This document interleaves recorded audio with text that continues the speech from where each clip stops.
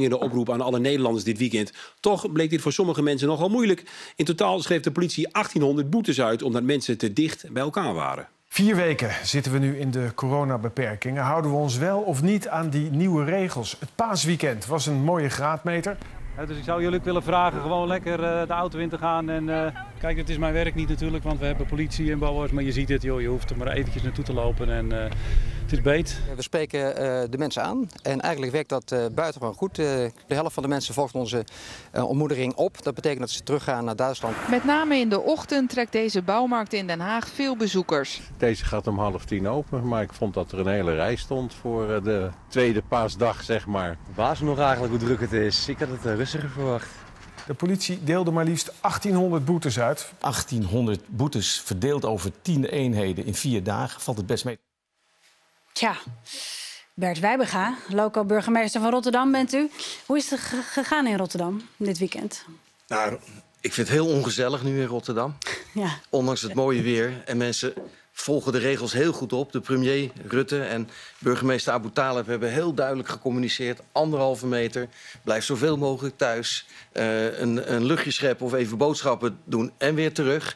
Op sommige plaatsen zie je dat het al een beetje te druk is. Uh, op de plaatsen waar bijvoorbeeld uh, uh, afval wordt gestort. Mensen houden de voorjaar schoonmaak heel snel. Dan staat er zomaar een uur een wachtrij voor de afvalstort. Zijn ze daar nou nog niet mee klaar? Dat was we weken geleden zag, zag je die rij ook al. propere mensen, die willen dat nu maar meteen gebruiken. Ja. Maar het is, het is in een bizarre film. Als je door de stad heen gaat, uh, de, de markten zijn, zijn er niet, de pleinen zijn leeg, de stranden zijn leeg.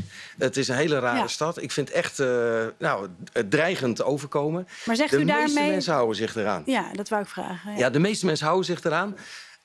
Maar wat is nou voor de politie en ook voor de handhaving en uh, voor de BOA's de taak dat diegenen die zich er toch niet aan houden, hmm. om die te waarschuwen, te informeren. Nou, ik zie hier al uh, de beroemde koopgoot. Ja. Ja. En als ze het dan toch doen, dan moeten ze ook weten dat er een bekeuring komt aan het einde van de rit. En helaas hebben we dit weekend gezien dat het voor sommige hardhorenden nog steeds niet duidelijk is. En die krijgen nu veel bekeuringen. Nou ja, uh, sterker nog, dit weekend heeft u gezien uh, in Rotterdam zijn er handhavers zijn zeer ernstig mishandeld door een groep van twintig jongeren. Eén, ik lees even voor, een van de gewonde boa's liep een gescheurde Achillespees op. Een ander had een vinger uit de kom. Een derde heeft vermoedelijk een hersenschudding.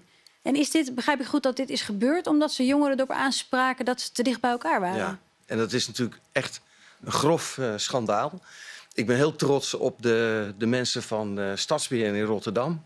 Die met uh, goede uniformen en goede beschermingsmiddelen, met bodycams waarmee je kunt opnemen wat je meemaakt, Mhm. mm -hmm. met, uh, met boeien en goed getraind dat die dat werk doen. De politie staat er direct achter.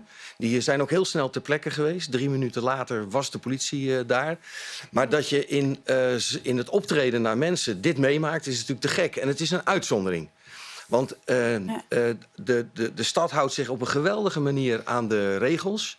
De, uh, er zijn tientallen bekeuringen en een paar honderd waarschuwingen gegeven. Maar wat, dat is wat, was niet hier dan, wat was hier aan de hand dan, meneer Rijbinga? Er was een groep, groep jongeren, zat bij elkaar. eh, Ja, dit, wat, wat hier speelde was dat een groep Rotterdamse mensen op een plek uh, in Charloes bij elkaar waren. En die dachten, ach, het kan hier allemaal wel. Ik weet niet wat voor kwalijke zaakjes ze deden. Er stonden ook uh, uh, kofferbakken open. En uh, de handhavers, zoals ze dat gewend zijn en dat heel netjes doen, maar wel streng, is van mensen, dit kan niet wegwezen, uit elkaar. En uh, de groep uh, volgde dat niet op. En toen werd gezegd, nou, dan moeten we ook bekeuren. En toen escaleerde het. Ja. En ik vind het echt onverteerbaar. Ja. En ik vind het heel mooi, er zijn nu al twee aanhoudingen gedaan op mensen die zich uh, daar tegen de Van die groep? gezet hebben. Ja, twee aanhoudingen gedaan. Ja. De, ik heb begrepen dat er heel veel aanwijzingen zijn, want die, die camera's nemen op. Ja. Dus ik, uh, ik verwacht dat uh, politie en justitie, die dit ook hoogste prioriteit geven, nog meer aanhoudingen gaan Dat doen. mag je hopen, ja. ja. Want ik vind het zo belangrijk dat mensen weten heus wel wat de bedoeling is. Maar je moet ook weten dat het geen spelletje is. De heer Osterhaus heeft net verteld hoe Hmm. kwalijk deze zaak is. Het gaat nog lang duren. We gaan dit alleen redden als we ons gedragen. Op langere termijn. Dat is best moeilijk. Dat is echt een jullie moeilijke... hebben een, eh, een nieuw middel in Rotterdam. Uh, dit weekend werd het voor het eerst ingezet. Camerawagens Ja. eh, die surveilleren over straat en proberen om, eh, nou ja, om corona-overtreders op hete dag Ja. te betrappen. Hoe gaat dat in zijn werk? Nou ja, de, de, het wrange is, we hadden ons in Rotterdam... en misschien wel heel Nederland verheugd op het Eurovisie Songfestival. Ja. Een collega van mij, eh, Maar dat gaat niet door. eh, eh, Kasmi, is daar hartstikke druk mee geweest. eh, heel Europa erop gericht. We hadden ook drie fantastische presentatoren. Die waren ook al helemaal geprept. Kijk- u deze- deze- naar mij, maar ik, ik deed niet gaat mee hoor. door. Dat gaat niet deze, door. deze autootjes waren bedoeld voor... Die waren daarvoor. Die waren ervoor. Want we verwachten tienduizenden. En, en nou, ik geloof nog, de aantallen ah, bewaar me er even voor. Maar hele grote aantallen hadden we in de stad eh, verwacht. En deze zouden voor crowd control gebruikt worden. En die stonden daar nu eigenlijk een beetje te verstoppen. En toen zei een, te verstoffen. En toen zei een slimme man. Die zei van, eh, laten we dit eh, gebruiken voor die controles die we nu moeten doen. En, en dit zien we dan in zo'n autootje. Die camera's die registreren continu Ja, wat er gebeurt op straat. Digitaal. Ja, ja, ik vind de beelden die hadden beter gekund. Want eh, in, die, in die ruimte kun je ook echt heel precies mensen op signalement herkennen. Als je wil kun je ook kentekens eh, lezen. Ja. En wat deze auto's doen, dat kunnen mensen op fiets of voet niet doen. Die leggen grote afstanden af. En die hebben dus heel veel waarnemingen gedaan van ja, grotere groepen mensen. Soms met het bericht, hé, hey, er zijn wel mensen, maar ze houden zich aan de Maar zij filmen, die auto's Soms filmen niet. dus. En Ja. dan kan je dus, nou ja, ze filmen en die beelden gaan naar de meldkamer. En daar Ja. kan de meldkamer zien, te veel mensen bij elkaar, we sturen de politie op af. Zo is het, zo is het. En eh, de- dus een paar keer is gebleken, ja, er zijn wel mensen, maar die houden zich eraan. Een enkele keer is gebleken, nee, maar dit is te gek. Hier is het te druk en te dicht op elkaar. En dan eh, wordt er een eenheid eh, naartoe gestuurd. En dat leidt dan tot uiteindelijk de oplossing. Maar wat je natuurlijk afvraagt is, er rijdt daar een autootje rond. Iedere Rotterdammer kan gefilmd worden op elk moment. Ja. Hoe zit het met de privacy? Eh, dit klinkt Nou, niet heel erg Nee, privacy-aardig. nou, ik, ik vind het een terechte vraag. Eh, eh, en eh, vaste camera's, die kennen mensen ook. En deze rijdt eigenlijk zomaar door de stad. Dus iedereen kan gefilmd worden. Ja. Dus privacy is meteen een, eh, een zorg die al bij, bij het begin op tafel lag. Maar? En ja, dat hebben we dus hebben we goed geregeld. Ja. Dat hebben we goed geregeld. Eén, er is een, natuurlijk een privacyprotocol, dat hoort er ook bij.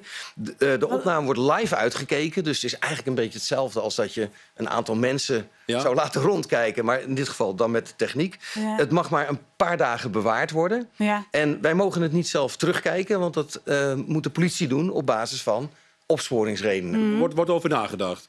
Nou ja, je moet dit wel netjes doen, want dat- mensen vinden het niet lekker. We hebben het idee dat er allerlei opnames van Ja, dat begrijp ik. overal in bestanden Het is, komen. een, het is een nobel doel. Het is belangrijk dat het gebeurt. We Ja. hebben het wel even eh, voorgelegd aan eh, de autoriteit persoonsgegevens. Eh, die zeiden hier dit over. Eh, er mag alleen cameratoezicht ingezet worden door gemeenten als andere vergaande maatregelen niet voldoende zijn om de openbare orde te handhaven.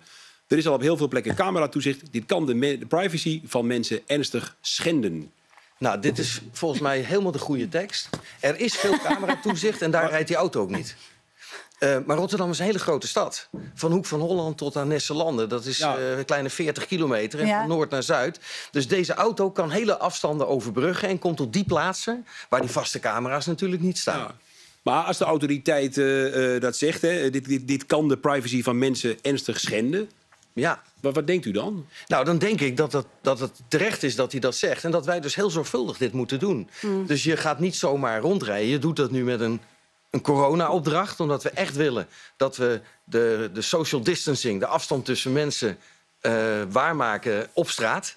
En deze auto rijdt dus gericht langs al die plaatsen... waar we Ja. verwachten dat er veel mensen kunnen zijn... en er niet zo'n waarneming is. En daardoor kunnen we eigenlijk de hele stad dekken. En, En dat is u- helaas nu... Ja, jongens, het is geen leuke tijd. Nee. We doen dit niet eh, voor, voor de vrolijkheid. We doen Uiteraard dit niet. omdat we die corona eronder moeten krijgen. En ik kan u zeggen, deze wagen zorgt...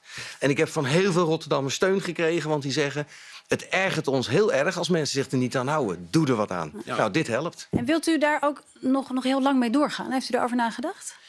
Nou, ik merkte uw ongeduld toen u de heer Oosterhuis vroeg... eh, schiet het nou een beetje op met die vaccins? Ik heb dat ook. Want het is helemaal niet leuk voor een stad en voor steden en dorpen... dat het zo lang duurt. Ja. En de economische schade, daar maken we ons nu al ernstig zorgen om. Dus hoe lang moet het doorgaan? Het moet zo lang doorgaan als dat de deskundigen... de premier en de burgemeester zeggen... we moeten strak handhaven. Zo lang gaan we ermee door. Ja. Eh, nog even een klein privévraagje. U bent getrouwd met, eh met Cora van Nieuwenhuizen, Ja, de minister. ja ik ben heel gelukkig. U, u, u erbij, dat vind ik mooi om te zien. Ja. Maar uw, uw lieftallige vrouw, we zien haar hier in beeld. eh, zij is in, in, in de nabijheid geweest van, van mensen die corona hadden. Dus ze moesten eh, twee weken thuis blijven. Hoe is het inmiddels met haar? Nou, ik vond het niet fijn.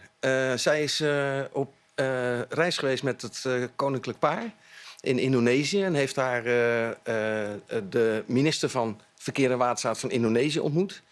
En die man die had hoge temperatuur, eh, transpirerende handen. Ze heeft me dat verteld toen ze thuis kwam. Ze zegt, nou, dat heb ik ook meegemaakt. Dat was Ja. gek. En binnen 24 uur kwam een bericht van de ambassade. Deze man is positief getest op coronas en nog een, corona en een andere ziekte. Nou, en wij wisten nog veel minder dan nu van corona. Dus we hadden echt gewoon de schrik thuis. Ja, van wat betekent dit? voorstellen. En gelukkig kwam er heel snel informatie van... nee, als ze geen klachten heeft... eh, ze moeten in ieder geval thuis blijven. Eh, jij kan als man kun je wel functioneren. Dus ik heb op het stadhuis gewoon met mijn collega's eh, het werk gedaan. Ja. Maar bij klachten wist ik ook dat ik moest melden. Maar wij zijn eerlijk gezegd, vooral die eerste week... waarin de kans van besmetting, overdracht het grootst is... zijn wij echt ongerust geweest. Van, eh, het- ze zal het toch niet hebben. Ja, nou, gelukkig niet. Ja, ik ben heel blij. Na twee weken was ze weer zeg maar out of the eh, danger zone. En eh, eh, nu functioneren we weer. Ze heeft in die twee weken eh, harder gewerkt volgens mij dan eh, ooit. Want het, het, van 's morgens Oh. tot 's avonds laat was het digitaal vergaderen en overleggen en bellen en doen. Nou, de normaal Want het kabinet maakt overuren. Ja, Nou, fijn dat het zo is afgelopen. Ja, dank u wel, meneer dank u Weber. wel. Dank u wel. Eh, het volgende dan. Veel verpleeghuizen hebben het moeilijk.